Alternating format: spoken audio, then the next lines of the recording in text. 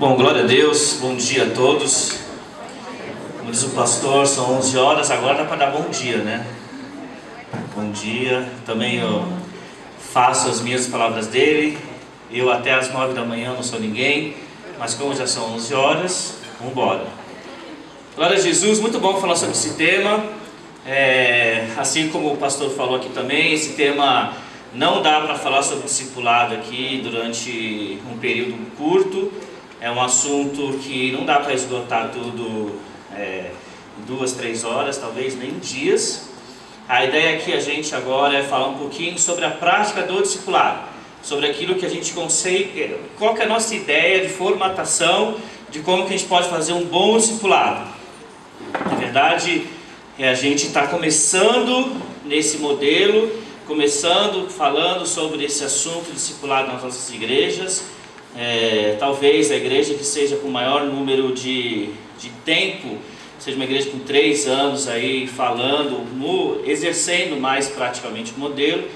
Então a gente está engatinhando com esse assunto. Então a ideia aqui não é trazer uma norma, uma regra, não, é só trazer o que nós aqui entendemos como, vamos dizer assim, as boas práticas de um bom discipulado, as boas práticas, aquilo que a gente como líder, aquilo que a gente como servo de Deus, devemos entender, devemos guardar o nosso coração e começar. Porque discipulado, eu tenho falado sobre isso muito em Santos, eu sou da igreja de Santos, para quem não me conhece, é, a gente tem falado muito sobre isso, né? Discipulado a gente é, mais aprende, mais é, quanto mais aprende, mais lê sobre o assunto, mais fascinado a gente fica, com mais amor a gente fica. E sabe, queridos, eu vou já de cara aqui antecipar algumas coisas, mas eu tenho também falado uma coisa lá em Santos. E eu falei isso, se eu não me engano, acho que umas duas semanas atrás, numa reunião de líderes que nós fizemos lá. É, ministérios da igreja é muito importante, de fato. É, participo de ministério, minha esposa é líder de ministério, nós, e a igreja tem que funcionar com os ministérios. No entanto, em nome de Jesus, que nós possamos entender que Jesus nos chamou não para fazer parte de um ministério apenas. Jesus não te chamou para cumprir uma escala de louvor. Jesus não te chamou para você cumprir uma escala de diaconia apenas. Jesus não te chamou para você fazer parte do ministério de cultinho. Também é, é muito importante servir, é muito importante essas coisas. Mas Jesus nos chamou para ir pregar a palavra, amém, queridos? Jesus nos chamou para cuidar de vidas. É por isso que Jesus morreu na cruz. Jesus morreu na cruz não foi para que nós pudéssemos chegar depois de um tempo e falar assim: Jesus, vamos lá, aqui ó, as escalas que eu fui, não faltei nenhuma. Muito bom, Glória a Deus, glória a mim, né? Jesus vai falar. Glória. E aí? E as vidas? Quanto você cuidou? Quanto que foi o Evangelho? O Evangelho chegou até onde através de você? E aí gente vai responder o quê? Então, sabe, que em nome de Jesus, nós possamos é, matar alguns fantasmas, e que talvez esse seja um. Jesus nos chamou sim para que nós pudéssemos servir a igreja. Vamos fazer isso com zelo, com gratidão, com amor como nós sempre fizemos, mas em nome de Jesus, que nós possamos pensar nesse assunto de discipulado e cuidar de vidas no mesmo nível, talvez até um pouquinho maior, sobre a gente pensa em ministério. Glória a Deus. Amém. Glória a Jesus. Vamos lá. Quem está passando os slides? Guste, pode mandar ver. Glória a Deus. Então, a gente vai falar sobre discipulado na prática. A ideia aqui é bater um papo aqui rápido sobre esse assunto. Então, a gente falou muito sobre esse versículo, é o tema da igreja esse ano, ide e fazer discípulos. Primeiro ponto aqui muito importante para nós é, todos nós fomos chamados para o id, amém? Você crê nisso, meu irmão? Todos nós, todos, independente se você é velho, novo, criança, todos nós fomos chamados para ir e pregar a palavra, ir e cuidar de vidas. Todos nós. Você não precisa ser teólogo, você não precisa ser é, mestre ultra blaster sobre todos os assuntos possíveis e imaginários da palavra de Deus.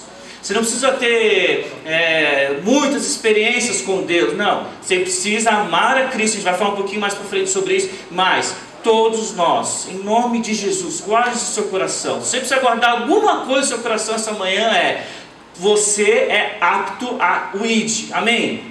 Você é apto ao ID, meu irmão. O seu filho, eu tenho uma filha de 9 anos e uma filha de 4.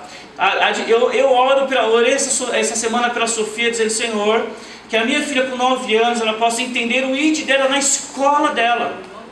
Do jeitinho dela. Que ela possa falar de Jesus lá com os amigos dela na hora do lanche, na hora do, do intervalo, na hora que ela possa falar, é o ID dela. Então, independente, em nome de Jesus, da nossa idade, nosso grau de instrução, o ID é para todos. Glória a Deus. Glória a Jesus. Uma recomendação que a gente faz é de que quando a gente começa a falar um pouquinho sobre discipulado, acompanhar vidas, é, entrar um pouco no, no, no, dia a dia aí com os irmãos, de acompanhamento mesmo, um a um ou em grupos, é importante que você também seja discipulado por outra pessoa. Sabe aquela história de independência ou morte? Nesse assunto é morte. Não dá. Não dá para você falar assim, ah, vou começar a discipular aqui e não prestar contas para ninguém. Furado.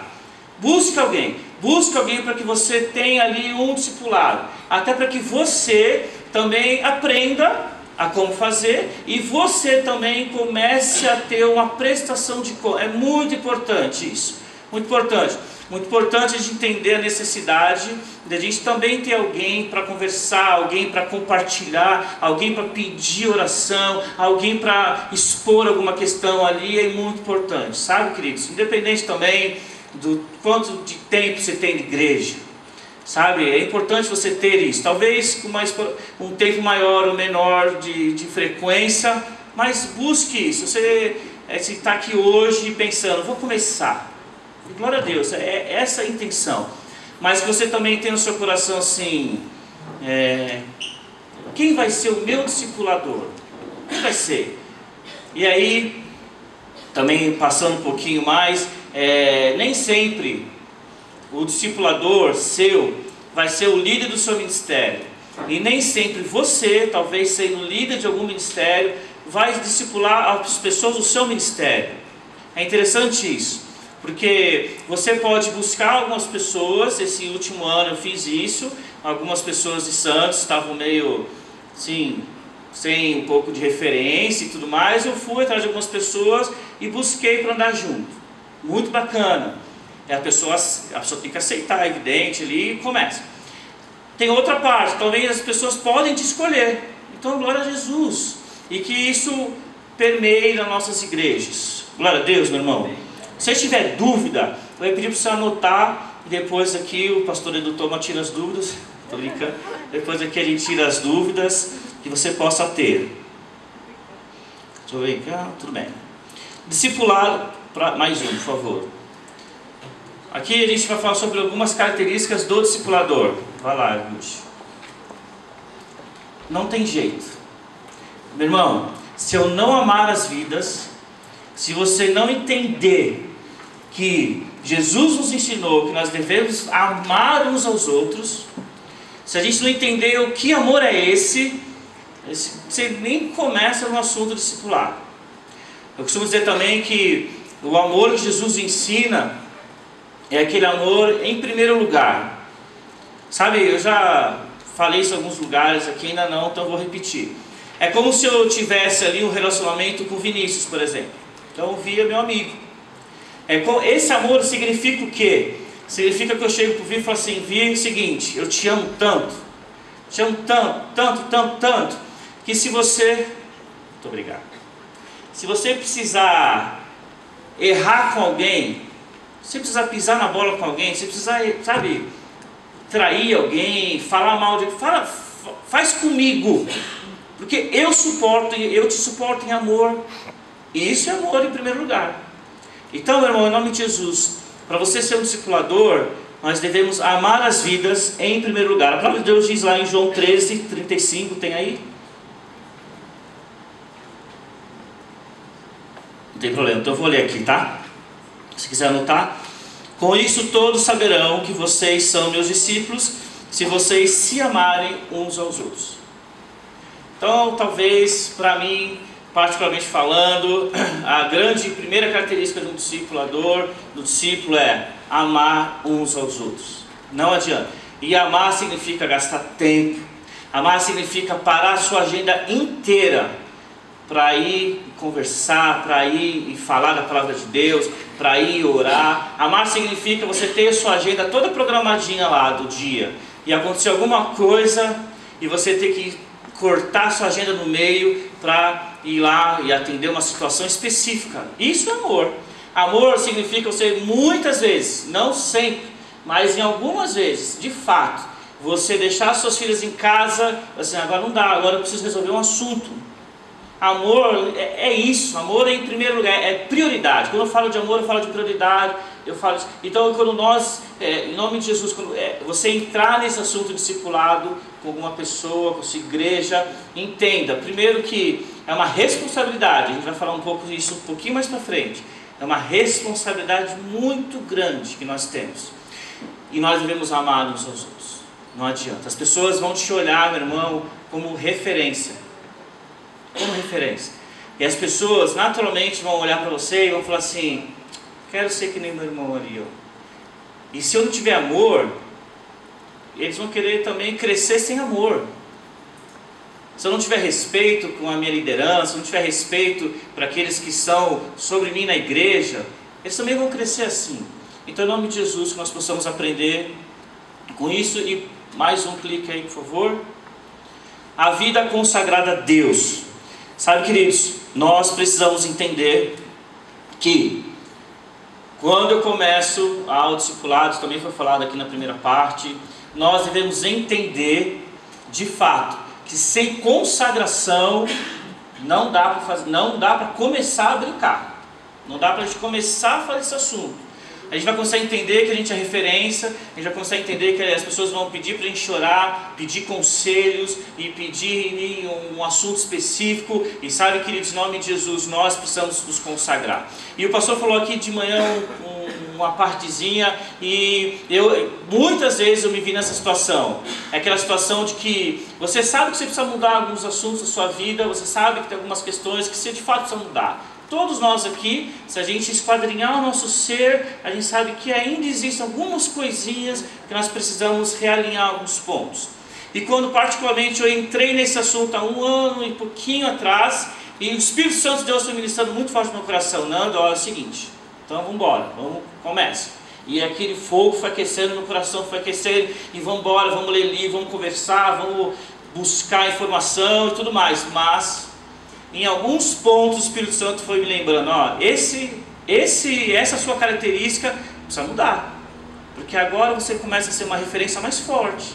Você quer que as pessoas entendam. Aí a gente começa a entender consagração. Consagração. E a consagração, meu irmão, eu vou dizer que eu não quero me alongar não, é, é, porque não é pregação, mas consagração, ela não fala só de grandes coisas, também fala de grandes coisas mas ela fala de pequenas coisas. Pequenas coisas. Aquelas pedrinhas que você fala, ah, isso aqui ninguém vê. Ah, tranquilo. Isso aqui é, né? Eu lido com esse assunto tantos anos. Tranquilo demais. Mas quando a gente entra no discipulado, em nome de Jesus, precisamos entender que as pequenas coisas, elas fazem grande diferença. Amém? Amém. Glória a Deus por isso. Mais um, por favor. Não tem jeito, vida de consagração, ela nos leva à vida de oração. E dá mais um clique, por favor. Ela fala sobre vida de oração e conhecer a palavra de Deus. Meu irmão, isso fala de devocional. Devocional em nome de Jesus se tem uma prática que nós, como igreja, precisamos começar a falar mais, ensinar mais, essa é uma boa prática, devocional. Que nós possamos ler a palavra, meu irmão. Olha, vou dizer um negócio. Eu não sou muito chato, não, sou um pouco chato só. Mas o que a gente tem visto de pessoas falando de referências bíblicas errado por aí é uma grandeza. Por quê? Porque falta conteúdo, falta ler a palavra de Deus. É ótimo o YouTube. Eu tenho vários pastores. Eu posso falar aqui. É, Luciano Subirá, eu gosto do Lucinho Barreto. Eu vou falar, eu tenho vários. Gosto mesmo, leio o livro deles, vejo o YouTube todo. Mas nada me tira a possibilidade, o ganho que eu tenho de parar e ler a palavra de Deus. Amém. Em nome de Jesus, amém, queridos? Amém. Você entende isso? Que se você vai começar o assunto discipular, é necessário você se abastecer da palavra de Deus. Sem você ter a palavra de Deus, você vai falar o quê? Ah, vai chegar lá um assunto. Não dá. Você vai, a primeira resposta você já quebra as suas pernas. Não, meu irmão, em nome de Jesus. Devocional, nós precisamos conhecer a palavra de Deus. Então eu vou pular uns versículos aqui que eu separei todos. Eu vou pular.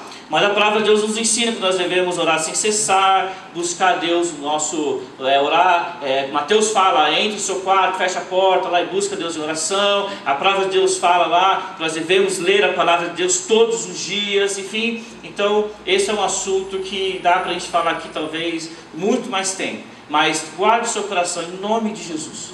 Devocional. Você precisa ter um tempo devocional. Faça uma análise aí durante 10 segundos como foi o seu devocional essa semana? O que você leu? Se eu perguntar aqui, que texto que você está lendo? O que o Espírito Santo de Deus ministrou a sua vida? O que, que ele falou esses, esses últimos cinco dias? E os últimos dez? E os últimos quinze? Os últimos 30? E os últimos 60 dias? Sei lá. Sempre quando nós buscamos o Senhor, o Senhor trata o nosso coração e nos ensina, e nós precisamos ter o devocional para que a gente, em nome de Jesus, possa ser uma boa referência. Glória a Deus. Vamos embora. Você precisa ser também disponível e confiável. Meu irmão, uma coisa que eu costumo dizer também é: quando você começa com o discipulado, é um caminho sem volta. Não dá para voltar atrás. Não dá para você chegar com a pessoa e falar assim, a pessoa vir, ah, não, não sei que tal, vamos lá, tá, começar um trabalho juntos aqui. Você começa ali com acompanhamento, você entra no discipulado, seis meses depois, assim, é, cansei, não dá, ah, valeu, não dá mais. Não tem jeito. Cuidado de vidas é, é, é, é, são todos os dias, não tem como você voltar atrás. A palavra de Deus nos ensina que é, nós devemos cuidar das ovelhas do Senhor, nós devemos pastorear, nós devemos fazer. E discipulado não é só no dia do seu discipulado, do seu, seu grupo, do seu o dia que você reservou para estar com seus discípulos, enfim, não é só nesse dia. Não, é, não acontece só de domingo, não acontece, não acontece. Ele acontece de segunda a segunda. Não tem jeito. Arruma tempo, você tem que ser disponível. Para ouvir, você tem que ser disponível. E, e eles também têm que ser disponíveis também para ouvir. E confiar, meu irmão. Olha em nome de Jesus. Que você, a gente aprende isso com o tempo, eu tenho certeza que você passa e já passou por N situações semelhantes. Nós vamos ouvir muitas coisas. Vamos ouvir e esse tempo de cuidado de vidas é para isso mesmo. A gente ora, eu oro, para que o Espírito Santo de Deus, aos poucos, vai permeando os corações e eles sejam libertos e, sabe, vão falando tudo aquilo que de fato está escondido no coração deles. Isso nos dá uma confiança, demora, não é aquela história que a gente fala para os namorados, né? Ah, para você confiança demora muito tempo, para perder a confiança basta, né? É igual. Então, em nome de Jesus, seja confiável. Convivência. E a convivência é aquilo que a gente. É um pouco de resumo ali do que eu falei, um pouco de disponível e confiável. A convivência nos dá uma, um, uma liderança por exemplo. Você quer ser um bom discipulador? Em nome de Jesus, leve a pessoa para fazer compras com você. Leve a pessoa para lavar o seu carro, não para lavar o seu carro mais por aqui. Você entendeu, né? Leva a pessoa para comer uma pizza com você, leva a pessoa para viajar com você, leva a pessoa para conviver você ali no dia a dia, para que ela veja como você lida com algumas situações. As pessoas precisam ver que nós não somos super crentes. Em nome de Jesus. Nós não somos super crentes. Temos defeitos, eu tenho defeitos. Eu lido às vezes com as minhas filhas com alguns defeitos. Quantas vezes tive que pedir perdão para as minhas filhas por coisas que eu falei que não devia ter falado? Quantas vezes eles viram, quem anda comigo vê que eu piso na bola. Ah, tal. Eles já sabem a característica. A convivência diz isso. Ah, é, deixa, deixe que as pessoas te conheçam. Deixe que as pessoas entrem na sua casa, deixe que as pessoas entrem no seu carro, deixe que as pessoas conheçam o seu ritmo de vida. Em nome de Jesus, a convivência nos gera testemunho de vida. Pode clicar, Ruth, por favor. Pode ir até o final dessa, desse slide. Testemunho de, vida, testemunho de vida. As máscaras, talvez, algumas de relacionamento, elas vão caindo, porque elas vão te conviver, elas têm a convivência. Quando a gente está aqui atrás do microfone, as pessoas não sabem como que você de fato é. Agora, quando você chama elas para comer alguma coisa na sua casa, para passar de um dia para o outro na sua casa, para estar junto, para as pessoas andarem junto, andar na praia, lá em Santos tem essa possibilidade. Então vamos, vamos conversar hoje, vamos, vamos andar na praia, vamos lá, tomar uma água de coco, vamos andar na praia, anda de um canal para o outro, e anda e volta, e ali as pessoas vão te conhecendo, vendo como você lida com as situações. Glória a Deus. Isso nos possibilita servir, dividir, aconselhar, consolar e tudo mais. Está acabando, tá? Frequência. Mais um, por favor. Vai até o final, Lúcio. Frequência, meu irmão. Aí é você que define a frequência do seu, do seu grupo, dos seus ali é, discípulos. É, aí é, é, muito particular, não tem algo que a gente determine alguma situação. Você pegar uma pessoa que acabou de se converter, ou como o pastor falou aqui, que ainda não se converteu, é a frequência maior. Quando você tem uma pessoa que está no, sua, na sua, no seu discípulo, no seu grupo, que é um pouco mais de experiência, tanto de vida, tanto de, de, cristi, tanto de cristianismo, pode ser uma frequência um pouco maior. Mas, uma coisa muito importante nesse assunto de frequência, em nome de Jesus, ela precisa acontecer. Precisa acontecer. Esse negócio de começar a discipular, comecei em janeiro. Ah, legal, puxa, glória a Deus, ah, foi tão bom, ah, foi muito bom, nossa, foi tempo precioso e tal. Quando foi o teu segundo? Ah, a gente está em março, não, não tive outro. Começa a suspeitar, porque a frequência tem que acontecer. Não pode ser uma coisa muito distante, porque senão vira amigo de, de conversar depois de culto. Não é isso, é algo mais profundo do que isso. Glória a Deus. Estudo. Aí um pouco o que a gente falou no começo na devocional. Nós entendemos que o discípulo é algo, entendemos que o discipulado é algo individualizado, ou seja, cada um tem necessidade específica. Então, é, nós discutimos um pouco sobre isso né, nos últimos dias e entendemos que o discipulador ele tem que entender qual é a necessidade ali das pessoas que andam com ele, seus discípulos. Então, de repente, você está com um grupo ali de duas, três pessoas e você entende que o assunto ali é questão moralidade sexual. Você começa a estudar sobre o tema, começa a buscar de Deus, começa a ler a palavra, começa a jejuar, começa a ler começa a se inteirar do assunto.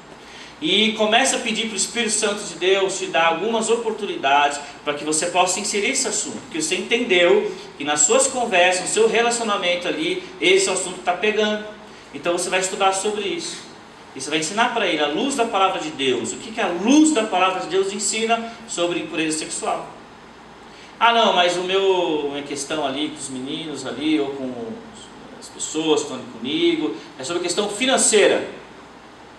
Há muitas dúvidas, há muitos conceitos errados e tudo mais. Então você, em nome de Jesus, assim como eu falei antes, vai estudar, vai se inteirar, para que você seja referente, você seja a voz de Deus ali naquele grupo. Então o estudo é muito particular, é muito individual. Por isso, fechou. Por isso a necessidade de uma boa devocional. Tá bom? Mais um, por favor. Local, eu já falei sobre isso. O local é em todos os locais. No almoço do seu, da sua empresa, na sua casa, praia, aonde você tiver disponibilidade, você faz ali um grupo discipulado. Quantidade nós recomendamos, queridos, para que esse assunto comece a, com qualidade, comece com zelo, de três a quatro pessoas. Primeiro que, mais do que isso, a gente entende que nós já temos nosso serviço nas igrejas, os nossos ministérios, e vamos continuar com eles. Então você tem a sua casa, você tem seu ministério, você tem a sua, a, a sua busca com Deus, enfim, você tem outro discipulado. Então, quanto mais pessoas, mais tempo você vai ter que ali deixar de priorizar algumas outras coisas. Então, no início, você que não começou ainda, de 3 a 4. Nós entendemos que é um bom número para que comece a, a rodar o discipulado. Mais um, por favor. E lembre-se, discipulado não é uma pequena família, em nome de Jesus. Pequena família tem os seus objetivos, a pequena família.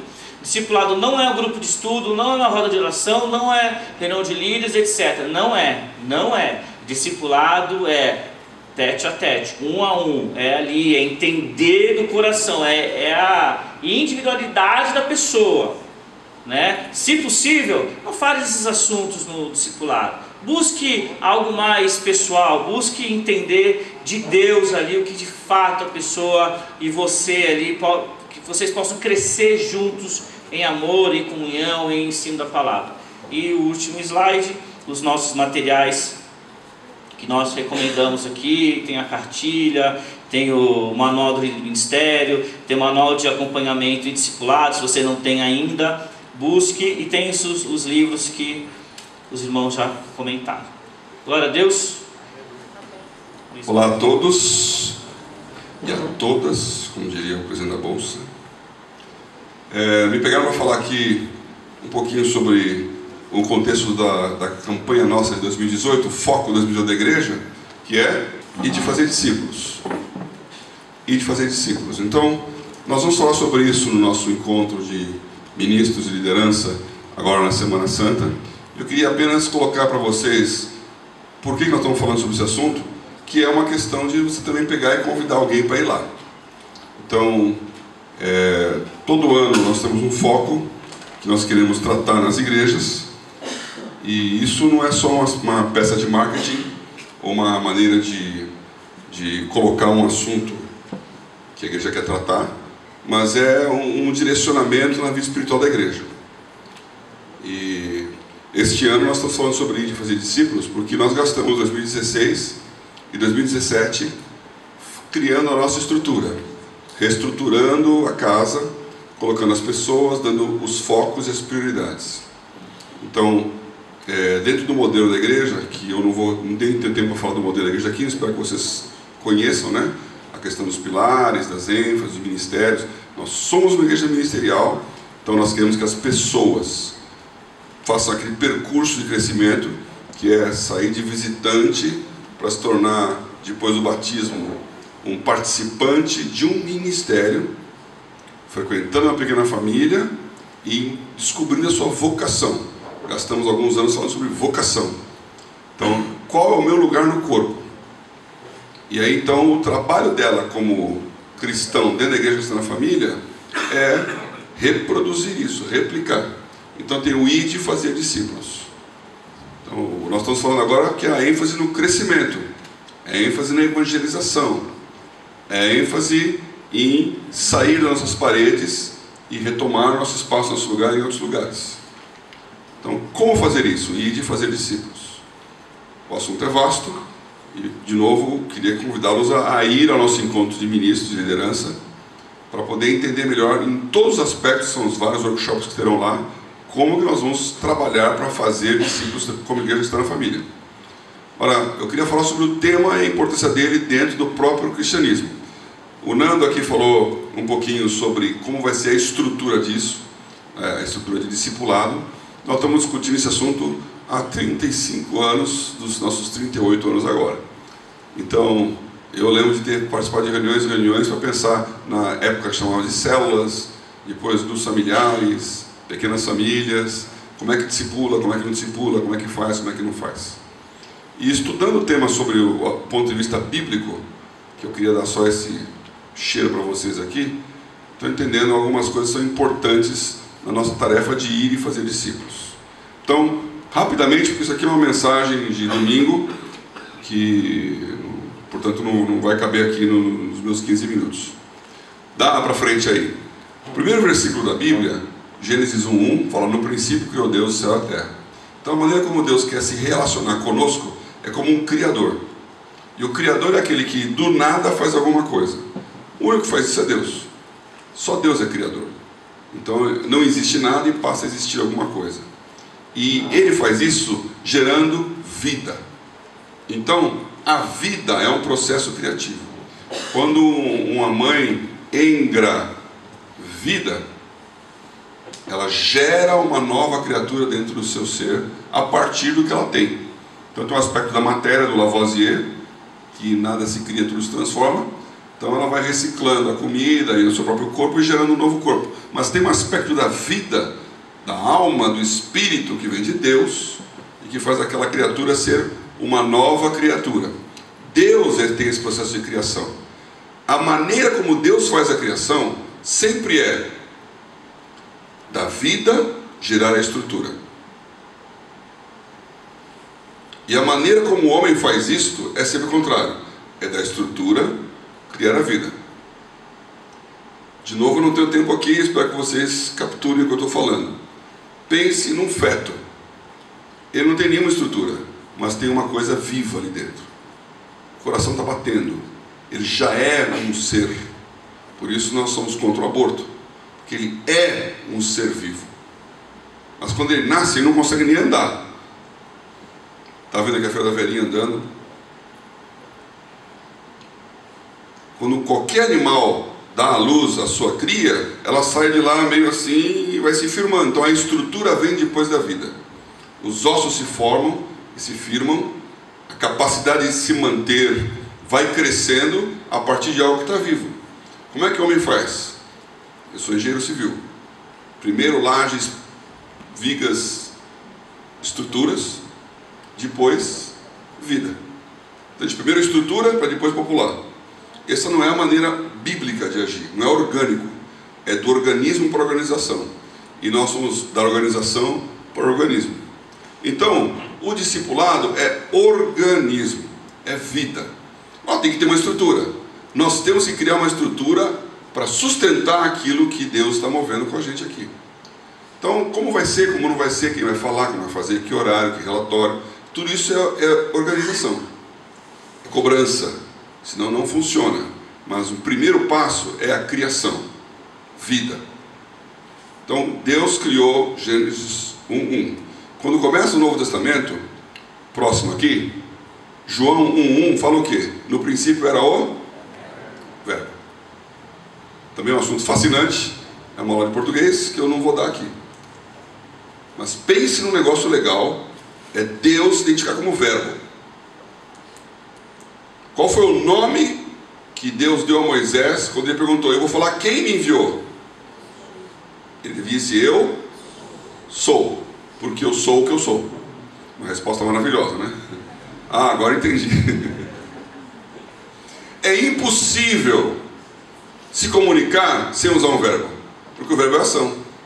E você pode usar é, só verbos, transmitir ideia só substantivos, preposições, pronomes, não transmite nada. Então, o nosso tema aqui, e de fazer discípulos.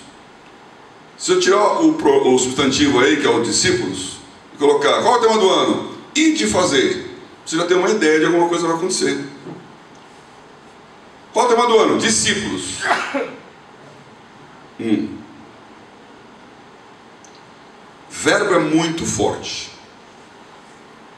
Não vou gastar o tempo aqui do português, mas eu quero só deixar você curioso.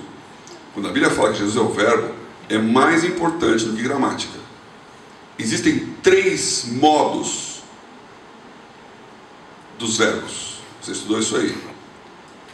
É o modo indicativo, é o modo subjuntivo e é o modo imperativo. Esse tema está em que modo? Imperativo. Ide fazer. Que aliás, minha mãe sempre me ensinou, você vai falar o imperativo, a maneira de falar correto, a segunda pessoa você tira o S. Então, é, sei lá, eu como, tu comes, né? Como é que é imperativo? É come. Então, quando a mãe dá uma ordem para o filho, é no imperativo. Ela fala, come! É até uma coisa contrassenso. Uma vez eu falei para minha mãe, quase bateu, né? Cala a boca e come. Falei, como é que eu vou comer de boca fechada? Aí tomei a sua, né? Cala a boca, para de ficar discutindo e enfia essa comida aí. Então, o imperativo é uma ordem. Quem dá a ordem é Jesus. Então, os modos também representam a Trindade. Porque o modo indicativo, que é a construção, é o, é o agir, é Deus. O modo subjuntivo, que é o como seria se não fosse, o, quentinho, se você pegar na gramática, você vai ver a definição dos modos lá, é o Espírito Santo. E o modo imperativo é Jesus. E os verbos também têm tempos. Tempos verbais. Quais são os tempos? Presente, passado e futuro. E Jesus Cristo é o mesmo? Ontem, hoje e eternamente. Então há uma palavra de Deus nessa questão dos tempos verbais aqui. E nesta ordem. Agora, por que eu expliquei isso? Porque quando você vai ler Mateus lá, dá o próximo. Falei, né? Não, esse tempo já falei. Vai próximo aqui. O id, por todo mundo fazer discípulos, Mateus 28, 19, ele não está no nosso, na nossa linguagem, foi escrito em grego. Então, o grego tem uma maneira diferente de explicar as coisas. Esse id, essa palavra maravilhosa que vocês estão vendo aqui. Claro que todo mundo consegue ler grego, então, tranquilo, né? Se bem que quem está acostumado com a letra grega, você consegue ler mesmo, porque aquele primeiro é o pi, o o, o ro, o epsilon, então é pro, por, né? Por, P-O-R, por eutentes, o T, teta grandão lá, por eutentes. Este tempo aí, está num tempo que no grego chama-se ariosto, a gente não tem isso no português aqui, que é um gerúndio. Então a, a palavra nesse versículo não é ide, é indo. Indo. A outra palavra importante é o fazei. Vai lá. Fazei não é fazei. Esse mateteusat aqui, matetes, é discípulo. E essa palavra aparece uma vez na Bíblia, nessa formação, né? Essa palavra, ela quer dizer discipulando. Não é fazer discípulos, é discipule. Então, se eu for ler o texto como está, vai para frente. Tendo ido, portanto, discipule. Batizando em nome do Pai, do Filho e do Espírito Santo. É isso que está escrito lá. A ênfase não é no ir, a ênfase é no discipular. Tendo ido, portanto, discipule. Nós usamos muito a, a, o id, né? E ele falou: Jerusalém, José, Samaria, das profissões da terra. O que, que eles fizeram? Nada. Eles receberam esta ordem e ficaram em Jerusalém. O que aconteceu? Deus esquentou um pouquinho, né? aumentou a temperatura e estourou uma perseguição e eles fugiram. Aí o Filipe foi para Samaria. Começou um Pentecostes Samaria. O que, que ele fez? Começou a cuidar daquelas pessoas. Tendo ido discipular. Aí aumentou a pressão, foram para outras partes. Primeira vez que sai para fora do, do aquário religioso judeu é Antioquia. E em Antioquia eles pregam para gentios, para gregos. E aí vem a, a resposta para Jerusalém, ó. Não é só judeu lá não. Então eles foram lá ver o que está acontecendo. E o que está acontecendo? Gentios se convertendo. Aí volta para Jerusalém, tem uma não pequena contenda, que é como a Bíblia fala, a, a conversa de Paulo com os judaizantes do cristianismo. E ele falou assim: olha, eu vou cuidar dos gentios, você cuida dos judeus. Dá para perceber que quem ganhou, né? Porque nós estamos em São Paulo, eu me chamo Paulo. Quem ganhou essa história? E a igreja messiânica está começando a aparecer de novo hoje. Então, o que nós temos de importante aqui? Aonde você vai, discipula. E por que você vai? Até vai para missões. É tipo assim, me separa Paulo e Barnabé para a obra e eu vou pregando o evangelho. Mas a maioria das vezes que você vai, você, você, você vai porque você mudou de emprego. Você vai porque você mudou de casa. Você vai porque você mudou por um casamento, casou com alguém. Então os seus relacionamentos, os seus contatos, a sua condição de estar com as pessoas, ela é criada pelo ir de Deus. Ele está levando você. E aonde você vai, você tem que discipular. Então, o nosso tema do ano é floresça onde você está plantado. Discipule. Como fazer isso? Agora vem as armas e as ferramentas, os conteúdos, as apostilas, os estudos. Mas o mais importante, você não tem que assistir um culto e frequentar uma igreja, porque Deus não mandou você fazer isso. Deus mandou você ir e discipular. Aonde você encostou, você fala a razão da fé que há em você. Você age de uma forma cristã. Você provoca um Pentecostes. E quando aquelas coisas começam a agitar, você pede a ajuda dos irmãos para estruturar o que o Espírito moveu. Nós queremos mais mover e melhor estruturação esse ano. Então nós temos que ir, que é sair da nossa casca, sair dos nossos cultos, sair da nossa zona de conforto e começar a discipular. Amém? Como fazer isso? Tem toda a estrutura que a associação pode dar, os ministérios. Mas o que você tem que ter na cabeça é que o seu chamado é para, já que eu estou aqui, o que, que eu vou fazer? E eu levo isso na minha vida há muitos anos. Só a Buda já me falou isso várias vezes. Aparece uma situação, eu fico pensando, por que Deus me colocou nessa situação? Com quem que eu tenho que falar? Qual a razão pela qual essas coisas aconteceram? Quando você começa a olhar, tendo ido, faça. Você começa a agir como Criador, no tempo de Deus essa motivação, essa necessidade, essa energia, esse olhar, nós temos que ter como igreja. Porque se eu estiver esperando para ir para o céu, eu não quero nem saber de evangelizar ninguém. Se eu achar que Deus vai salvar as almas que Ele quiser salvar, e isso não é problema meu, eu não vou evangelizar ninguém. Se eu achar que fale eu o que quiser falar, o cara não vai se converter, não vou evangelizar ninguém. Mas se eu souber que é a ordem imperativa, discipule, então eu vou começar a discipular. Estourei meu tempo? Tá bom? Cadê o dono do tempo? É os dois lá. Thumbs up. Então, amém. Esteja no nosso encontro de líderes. Propaga essa mensagem nas pessoas. Nós temos que estar juntos para entender. Nós vamos ir e fazer discípulos. E esta é a ordem para a nossa igreja. E nós somos Antioquia. Que Deus abençoe cada um de vocês.